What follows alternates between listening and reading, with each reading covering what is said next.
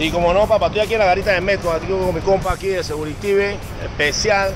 Vamos a hacer un operativo, voy a poner mi cámara ahí. Vamos a ponerla unos minutos para ver cuánta gente cruzan por donde no se debe cruzar, que es aquí frente a la garita de metro. Que cruzan para allá y para acá. Usted se va a sorprender. Suelta la DJ.